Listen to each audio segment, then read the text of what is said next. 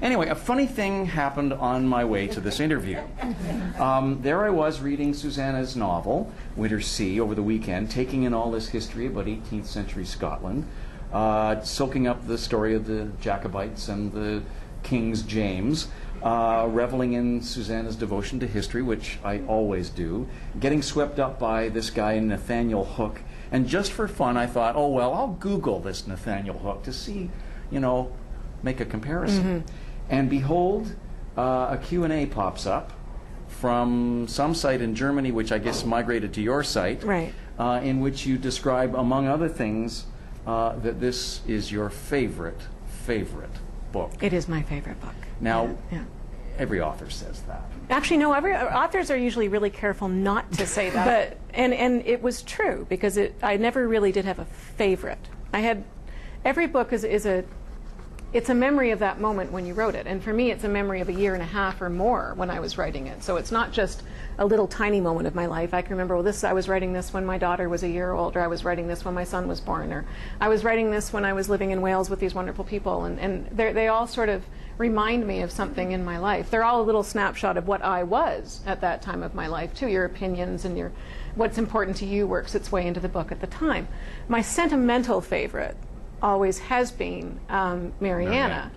Mostly because, not, not just because the story came so easily for me, because it, it did, it came really easily, that story. Um, but because it was, it was the book that sort of opened all the doors for me. It was the book that just kind of went out there and magically paved my way. And it, it got me my publishers overseas, it got me my British agent, it got me everything that has brought me good things in, in my working life came from that book. So, and it, it's one of those books that, um, it seems to touch a lot of people. It seems to reach a lot of people, and they seem to respond to it, male and female. I get a lot of fans who love that story. So up until that point, that that had been my favorite. Um, but the Winter Sea was the first time in a long time that I have experienced that kind of writing, where the book just came. Normally, I would sit down, my husband can attest to this. I, I sit down for two or three hours a day, and I'm lucky if I get two pages done. I'm lucky if I get up and I've, I've done a solid two pages, I feel great. Mm-hmm. With the Winter Sea, I'd be getting up and I'd have done 10 pages, 15 pages, 20 pages. I'd be going back up to do more.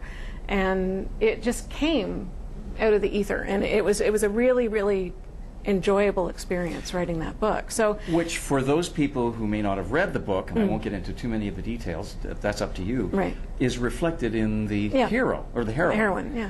Um, who is writing madly, uh, delivering copy Yeah. well beyond what the agent is expecting. I mean, this is all. This is not just a full of parallels, but there's like eight levels of Yeah. what's going on here, and that's extraordinary because we know you and we'll Yeah. have all this feeling, and I just don't want all, all that to get in the way. Oh, but it's okay. amazingly. Um, it's amazingly you. It's, Well, and, and that's maybe why that's maybe why it's part of my favorite as well. Is because this is the first time I was able to um, really put a writer in the heroine's chair. My very first book, Undertow, which um, is long since out of print, and people pay far, far too much for it. If they go on eBay, it's just ridiculous. It's a little book. It's just a little 50,000 word book that was published into the library market. It's not a fantastic book. It's not bad, but it's it was written by a 24, five-year-old, you know, girl. Uh, it's not Mariana. So please, please, please don't pay $200 for it. I, I just get find a library that still has it or, or something, or get 10 people together and buy it, but just don't pay that price for it. Um, but that had, a, had an author as the main character because your first book is almost always autobiographical to some degree. And that one was, was very autobiographical. Is this one more so? This one, Carrie is, Carrie the heroine is parts of me. She's younger, thinner, prettier, and I, I always see her as blonde, but um, she's, I- she's I got a lot of, she's got a lot of me in her. But her, I was able to put in those little bits about being a writer that you don't usually read about in books about being a writer. Um, I gave her my writing habits. I, I like I love to write at night. I haven't been able to do it so much so now that I've got the two little kids. I tend to write in the afternoons when my son's in kindergarten.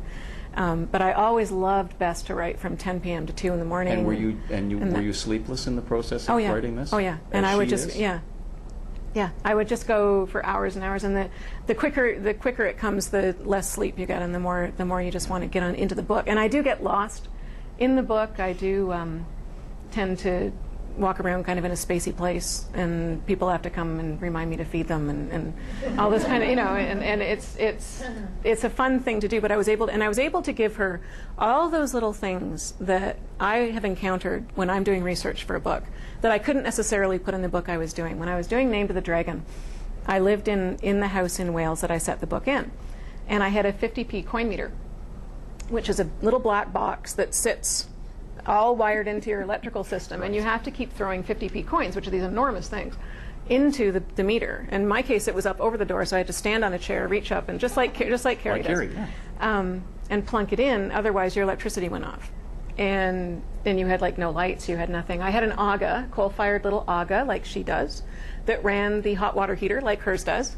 And again, if my fire went out, because I wasn't the best fire maker at the very beginning, I got really, really good by the end, but I wasn't the best at the beginning. Um, and I would lose all my hot water for the day. So then you'd be walking around, you know, with cold baths and, and, and stuff. And and I couldn't really put that in the book I was writing because it didn't have a place for it. The person living in that house in my book was a, a fairly well-off author, and he didn't have a lot of you know, um, deprivations. Needs. Yeah, he, he had everything he needed, Yeah. but he had central heating and all that kind of stuff. But I always loved my 50p coin meter. I took a picture of it before I left, and I wanted to use it somewhere.